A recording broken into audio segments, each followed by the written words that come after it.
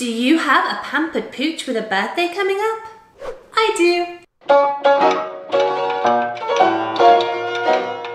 But what do you get the dog who has everything? I'm here to teach you how to make a birthday cake that's fit for your furry friend.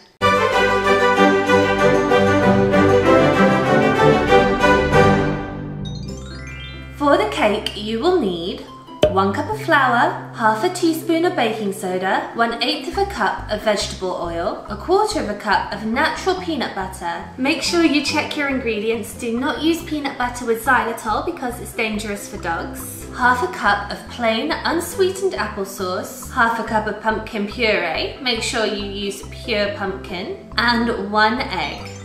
And for the delicious puppy-friendly frosting, you will need half a cup of plain Greek yogurt and a quarter cup of peanut butter. If you were wondering, yes, humans can eat this cake too.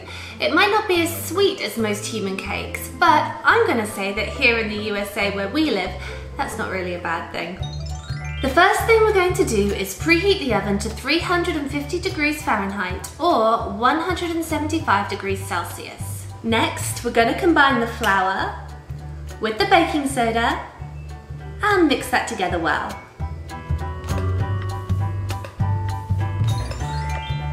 Now, in a separate bowl, we're going to mix together the applesauce, the peanut butter, the vegetable oil, and the pumpkin puree. So this cake is for my little poodle Layla, who's about to turn two. Last year we did a birthday picnic for Layla with a look back on her first year with us. So head on over to that video after this one if you want to see more of Layla. Make sure you give this a good stir so that the ingredients are combined well. Once the ingredients are mixed well, add the egg. Since the video last year, Layla's continued to bring us so much joy and happiness. She's playful, loving and funny. Let me know what your dog's personalities are like in the comment section below. Once that's done, you can combine your dry ingredients with your wet ingredients and make sure you stir them well. One of the biggest changes for Layla this year is that we actually moved house and we were a little bit worried that she was going to struggle with the move because Layla is not known for her easygoing or adaptive personality. But apart from the first night when she was scratching on the door because she wanted to go back to the old place, she grew to love her new home really quickly. The next thing I'm gonna do is pour the cake mix into a cake tin, which I'm actually gonna grease with a little bit more oil just to make sure the cake doesn't stick. And then we're gonna bake this for about 25 to 30 minutes. One of my favourite memories of Layla this year was the first time she got brave and jumped in the swimming pool at my in-laws house.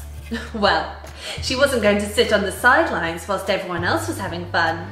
Swimming seemed to come naturally to her, as did drying off in the sunshine afterwards. While that's cooking, we can make our puppy-friendly frosting by simply combining the peanut butter and the Greek yogurt and mixing well. Once the cake is cooked and cooled, we can spread this over the entire cake and it's gonna look lovely. Let me know what you like to do for your pet's birthday in the comment section below. And if you try this cake, you can tag us on social media at Brit Girls Go Stateside so we can see your creations and how much your pooch enjoyed their birthday treat. And don't forget to like this video and hit subscribe if you're enjoying it. It really helps us out and helps other people find our content too.